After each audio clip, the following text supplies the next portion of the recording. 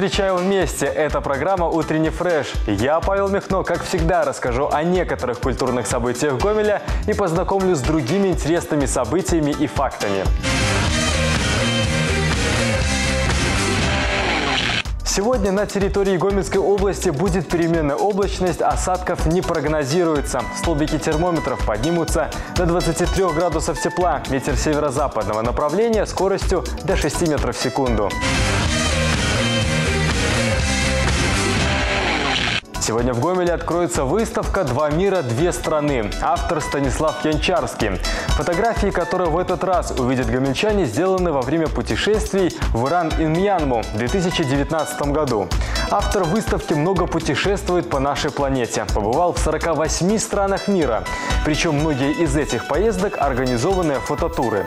Их результаты фотограф представляет на выставках в Беларуси и за ее пределами, участием в фотоконкурсах и в издаваемых книгах. Для автора важна реальная история о людях и событиях, которую он рассказывает через объектив своего фотоаппарата. Не пропустите!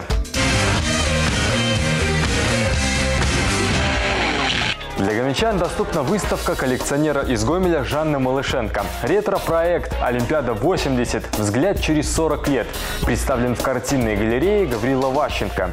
Он возвращает в Москву 1980 года, окунает в атмосферу летних Олимпийских игр. На выставке самые разные вещи, хранящие отображение того знаменательного события. Среди них календари и открытки, игрушки и сувениры, одежда и аксессуары. Окунуться в 80-е поможет и импровизированный уголок советской квартиры. В нем можно присесть в старое кресло, полистать журналы за 80-й год. А дети смогут поиграть в настольные спортивные игры СССР, попрощаться с олимпийским нишей, который готовится к полету на воздушных шарах. предстоящую субботу 18 июля в областном центре состоится фестиваль красок Color Fest. Красочное мероприятие пройдет в парке «Фестивальный». Всем тем, кто желает в этот день сделать свою жизнь чуточку ярче, обещают жаркие танцы под любимые всеми хиты, самые разные интерактивы и залпы разноцветных красок. Поддерживать настроение гостям праздника будут диджеи и ведущие. Начало в 18.00, вход свободный. Полезных правил «Мудрое собрание». Конкурс под таким названием проводит городской центр культуры Жлобина. Районное мероприятие определит лучших чтецов басен. Участникам понадобится подготовить чтение наизусть басни или театрализованную миниатюру. Также можно использовать слайды, видеоролики, музыкальный инструментальный фон. Подать заявки можно до 24 июля. Принимайте участие в конкурсе и побеждайте! В Добружском, Гомельском и Брагинском районах действуют ограничения на посещение лесов. Такая мера вводится в случае высокого класса пожарной опасности и снимается при стабилизации обстановки. Цель таких ограничений – обеспечить безопасность граждан, сохранность их имущества и, конечно, лесного фонда. Узнавать информацию о том, в каких именно районах временно запрещено посещать леса, можно из интерактивной карты на сайте Министерства лесного хозяйства. Сегодня в областном центре пройдет электронная ярмарка вакансий. Вакансии предложит Станка Гомель, Гомельский завод станочных узлов, химзавод, областной клинический кожно-венерологический диспансер и предприятие Горэлектротранспорт.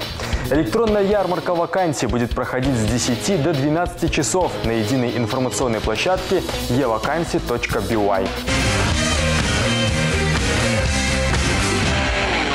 Сериал «Оса. Особая следственная аналитика». Это остросюжетный сериал от создателей знаменитого «Следа». Он рассказывает еще об одной специальной группе, которая расследует необычное преступление.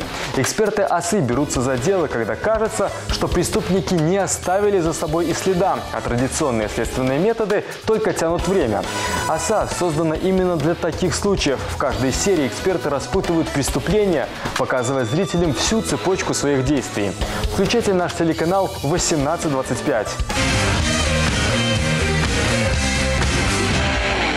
В выпусках передачи «Земля наша» творческая группа знакомит телезрителей жизнью малых населенных пунктов нашего региона. Сельскохозяйственная, социальная и культурная темы раскрываются через конкретных героев, работников местных хозяйств и сферы услуг, сельских учителей и школьников, участников творческих коллективов и ремесленников. Каждый герой – яркая неординарная личность со своей уникальной жизненной историей. Включайте телеканал «Беларусь-4 Гомель» сегодня в 19.30. По вечерам в нашем эфире программа «Добрый вечер, Гомель». Это рассказ о ярких событиях и жизни Гомеля и Гомельской области. Разговор на актуальные темы с интересными гостями в студии. Сегодня вечером смотрите новый выпуск. Включайте телеканал «Беларусь-4» в 2025. Не упустите хорошую возможность приятно провести вечер всей семьей у телеэкрана. Далее традиционно о других интересных событиях и фактах. Власти нидерландского Роттердама хотят установить в городе новый мост длиной 6,5 метров. Но мост этот будет не совсем обычный, его напечатают на 3D-принтере из отходов. Поставить его планируется в одном из парков к концу этого года. Этот мост появится на месте деревянного, установленного в 1975 году. Ожидается, что он прослужит до 2100 года. Объект оснастят специальными датчиками для сбора и передачи данных о его состоянии. А когда мост отслужит свое, все его материалы можно будет переработать и снова использовать.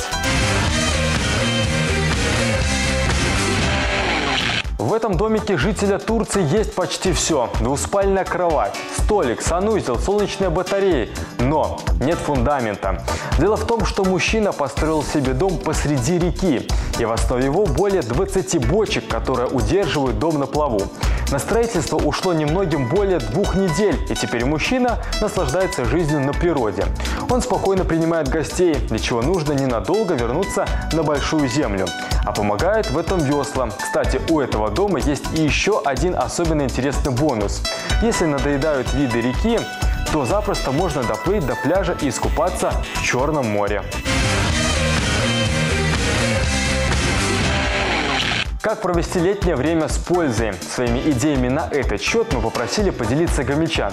В ответ услышали немало дельных советов и проверенных вариантов, что важно практически незатратных финансово видов времяпрепровождения. Было бы желание. Меня зовут Кристина, мне 18 лет. Учусь в ГГУ имени Франциска Скорина. В 2006 году увидела чемпионат мира по волейболу среди женщин, э, финал Бразилия-Россия и поняла для себя, что это то, чем я хочу заниматься всю жизнь. Волейбол полезен только в том случае, как, ну, если им заниматься непрофессионально, потому что любой профессиональный вид спорта, я думаю, любой спортсмен, профспортсмен согласится, что это не просто как бы для здоровья делается, это скорее какие-то гладиаторские бои. Поэтому волейболом нужно заниматься только в свое удовольствие, ну, если просто хочется поиграть. В свое удовольствие на пляже, допустим. Вот действительно полезно на песке попрыгать, потому что это минус лишний вес, так скажем, плюс э, тонус будет для всего тела, как минимум. В Гомеле есть множество, абсолютно огромное количество секций. Это школы, волейбольные классы, как это было в моем случае. То есть э, с 5 по 9 класс я была в волейбольном классе. Также на пляже, пожалуйста, на любой гомельский открытый пляж. Э, если прийти, можно увидеть висящую сетку, через которую не проблема поиграть. Как всегда, новый день с вами встречали утренний фреш и я, его ведущий Павел Михно. Какой бы ни была погода за окном, путь в душе всегда царит спокойствие и радость.